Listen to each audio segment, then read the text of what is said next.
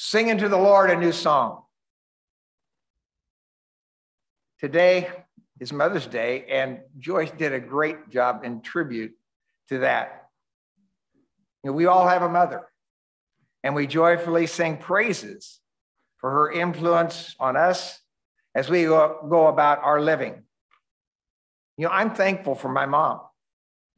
And I'm also thankful for all the other moms of my life that have enriched me in so many different ways. We salute each mom today for being the stabilizer that's in our lives as we live it. We sing praises in all that our moms have done for us. We give thanks for being the chosen one by our mom.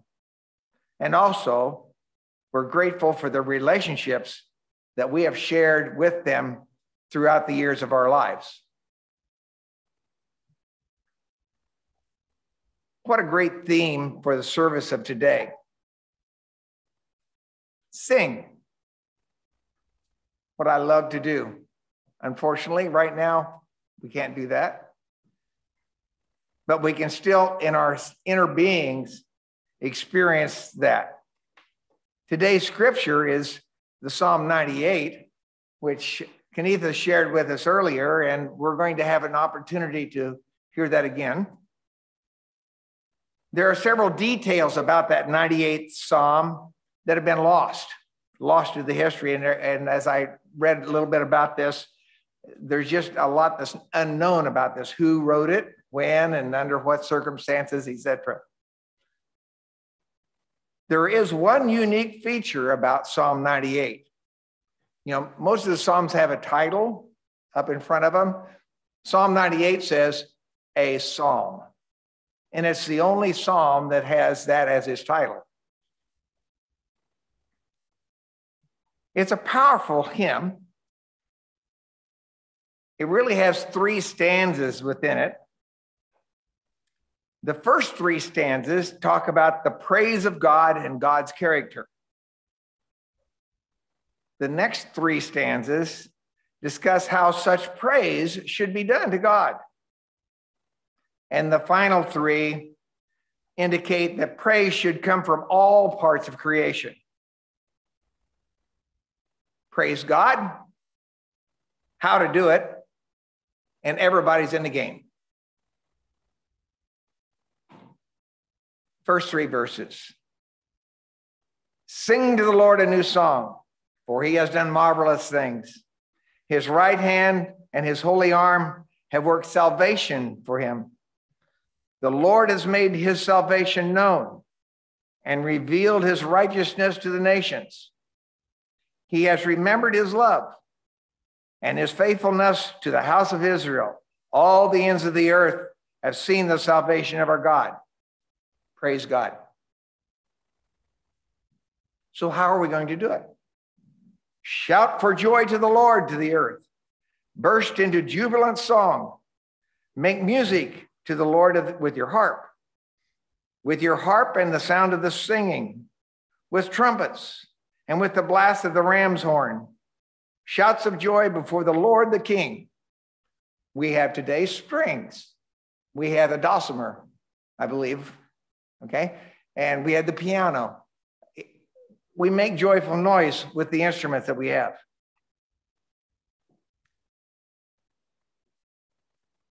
The last three. Let the earth resound and everything in it, the world and all who live in it. Let the rivers clap their hands. Let the mountains sing with joy. Let them sing before the Lord, for he comes to judge the earth. He will judge the world in righteousness and the people with equity. Everybody and everything. Praise to God. God's greatest love and his marvelous works are indeed for all of creation, not just a select group or a few people. Even the sea, the creatures, the floods, the hills, the mountains, and all of creation are encouraged and empowered to praise God. This praise by all of creation, as stated in the writer of this psalm, should be a quote, new song. God is constantly doing marvelous works. Our hymnal is full of experiences and expressions of this. Thanks to Robert, I'm going to have three different hymns come up, and we're going to only look at the first verse. These hymns are, are all part of that. So, Robert, if you could please put up number one, great and marvelous. Great and marvelous are thy works, O Lord of hosts, Almighty One. Earth and firmament speak thy praise. Thy name is written in the sun. That's a hymn that we all know. Praise God for the writer of that hymn and the expressions that we experience as we sing, read, and experience those words. All right, number two, please. This is a hymn that is a little bit newer. It was one of Joni's favorite hymns, and we used to talk about this hymn a lot. Earth and all stars, loud rushing planets, sing to the Lord a new song. Hail, wind, and rain, loud blowing snowstorms, sing to the Lord a new song. God has done marvelous things. We will sing praises with a new song. The other verses of this hymn speak of some of the things that we've talked about, you know, how we make this, the sound with strings, with harp, with cymbals, loud clanging hammers, and all of elements of noise that we experience are really experiencing and expressing that love and that joy to our Heavenly Father. Hymn 102, Earth and All Stars. All right, number three, please.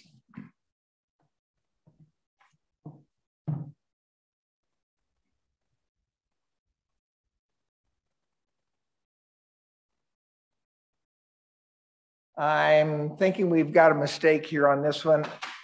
I was into a, a, the praise hymnal. Anybody remember the praise hymnal? Okay, so I apologize, Robert, if I have given you the wrong wrong uh, word here, but I'm going to read this one that I want to do. This is hymn 45 out of our praise hymnal, if you happen to have one of those at home still. You shall go out with joy and be led forth with peace. The mountains and the hills will break forth before you. There will be shouts of joy, and all the streets of the field, all the trees of the field will clap, will clap their hands. I thought I'd get a response there. Okay, do you recall that hymn, singing that hymn over and over? It just, it was always such a joyous expression. And I, I just had to go back to pick out that one.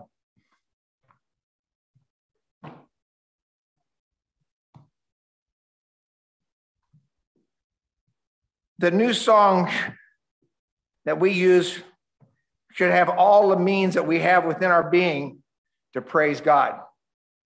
Joyous songs, bells, strings, trumpets, the horns, lyres, flutes, all those instruments that we think of, but also some other instruments.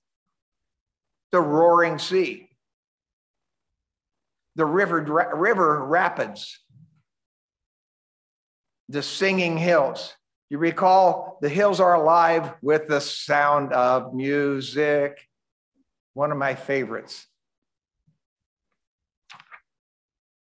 All the creations that are here on earth are blending praise, praise with this joyful noise. We've all experienced that. I just have to share some of my favorites we had an opportunity a few years ago to go to Hawaii, one of my bucket lists, and uh, see uh, the caves while we were there and, and had a great time. But there was one drive on, on that uh, experience that I will never forget the road to Hana. Around every corner, there was another waterfall. It wasn't one of those things you just how fast you, it was how slow can I go and experience the beauty of creation. I will never forget the waterfalls. They sang a song to my soul. A second one, have you been on a rafting trip? Maybe. Been there, done that? You go along, it's such gentle flowing, and all of a sudden, here comes the rapids. And luckily, we have a great guide that steers us through those. But the, the thrill, the invigorment, and then the joy and excitement that you experience. I, being old, have the opportunity now to do some things that uh, when I was actively teaching, coaching, and so on, couldn't do. So we spend the winters, as you know, in Colorado. And our condo we bought there has the Blue River in our backyard. Okay. Unfortunately, I love to ski every day, but Karen doesn't. Well, but for her, and I told her I was going to talk about her today, we set up a little office spot in our bedroom over a window that overlooks the river. And I'm not sure whether she's physically working or whether she's enjoying the beauty of creation. Because I hear stories about, well, the fly fishermen came today. Paul, they were there. And I have watched them also. It's just, it's, it's enthralling. It, it, it speaks to your soul in the beauty of that creation.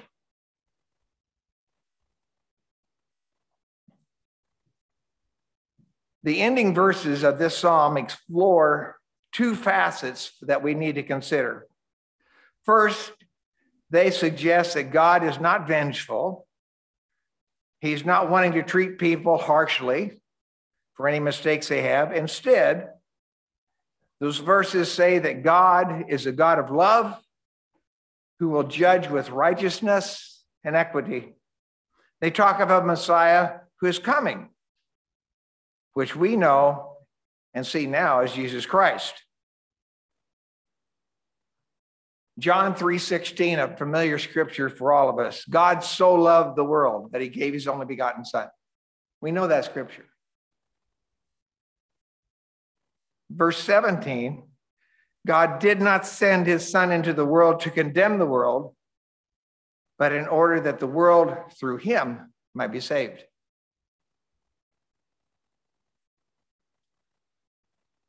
Both of those scriptures are parts of hymns. And as I think of them, I normally think of them in the hymn version rather than the scripture version. As Kenneth has said, I love the hymnal, and, and it's, it is my, my scripture. Make of a joyful noise and singing a new song are ways of communicating God's love and care for his creation being aware of God's marvelous works and his all his creation gives each of us an opportunity to witness what we know and how we sing it to the Lord. Find a song that expresses your praise and challenge as a new way of being and living your life. As we say, sing it high, sing it low. Sing it for all the world to know. What blessings have you experienced in the past month that you can sing a new song of praise and thanksgiving?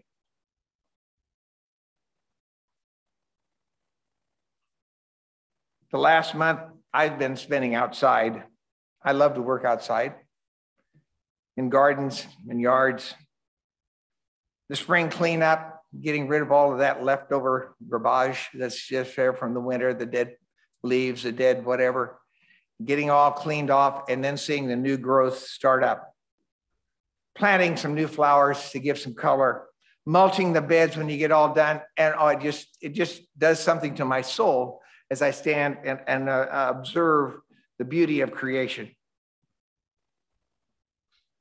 Share with someone this week a new song that will have a positive impact and a joyous response.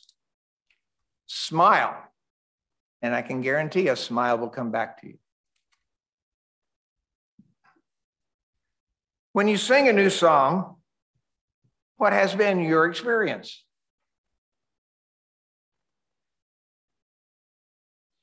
Do you recall whistle while you work? As you go about your daily routine or your job or whatever, do you find yourself whistling or, or humming or singing?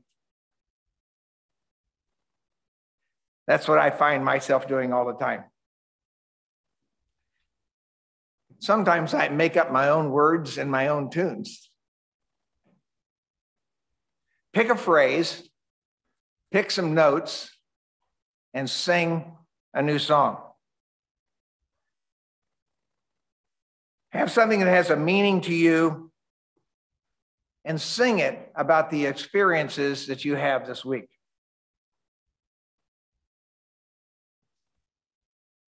Thirdly, praise is an important part of our spiritual formation. What has been your experience when you intentionally focused on praising God?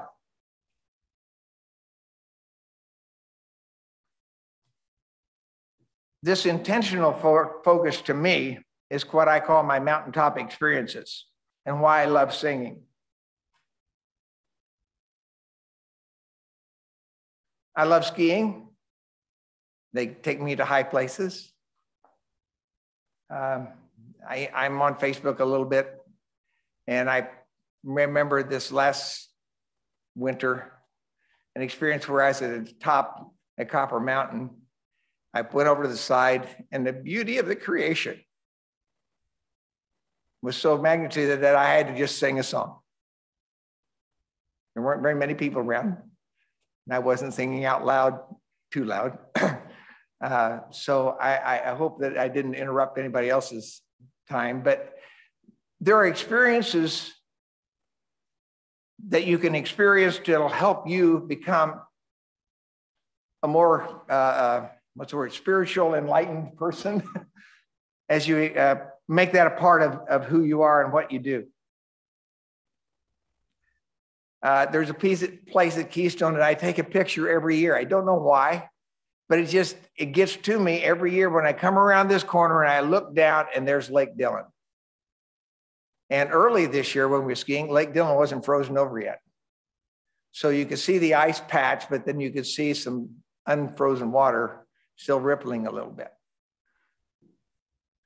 And so School Marm is a very slow, meandering, but it's got a nice little spot where you can pull off and just look and stop and take a picture. I've got the same picture from every year for years, but it does something to me. The beauty of that spot, the gloriousness of creation, gazing at a lake from a bird's eye view is different than being right down on the water's edge. Both are good, but there's something about being up above and looking down. Tahoe, great, beautiful, deep blue lake. But you come around the top of the curve and look, and there it is, right in front of you. I remember uh, with Karen going uh, on, a, on a gondola. She had never ridden a, a, what I would call a like a school bus type gondola, holds like 50, 75 people. But Tahoe has one of those. So we took it up the mountain, but then I said, we're going to take it down also. Because when you take it down, it's like you're suspended in air looking out the beauty of creation every place and the lake right in front of you. One of those experiences that you just never forget in life. You all have had yours. I invite you to follow the rule of stop, look, and listen. It will apply to a lot of aspects of your life. But you will experience God's creation and beauty and make it a part of who you are.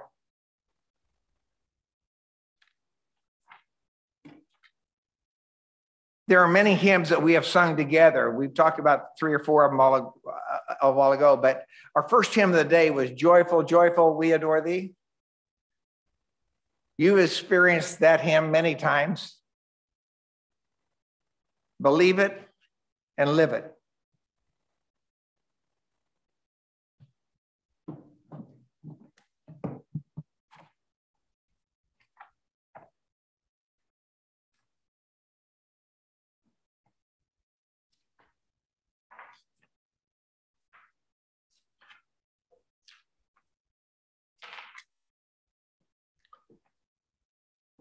A hymn in our new hymnal that that uh, speaks to me is uh, related to this 98th psalm again.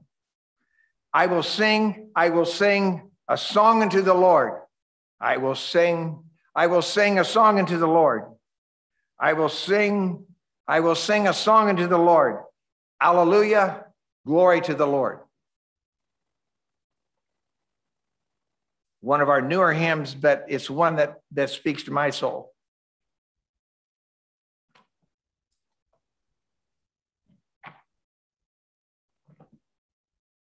My life flows on in endless song.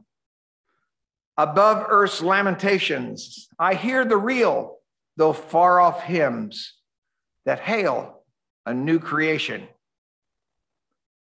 No storm can shake my inmost calm while to that rock I'm clinging. Since love is Lord of heaven and of earth, how can I keep from singing?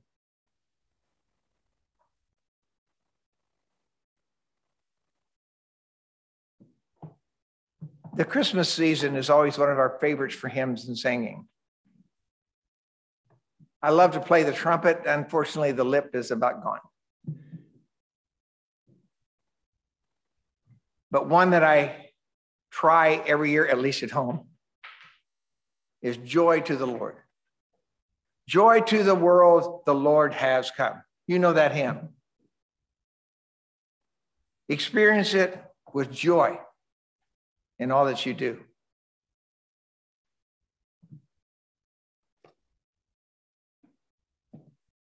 Sing unto the Lord a new song, for he has done marvelous things. Shout for joy to the Lord, all the earth. Burst into jubilant song.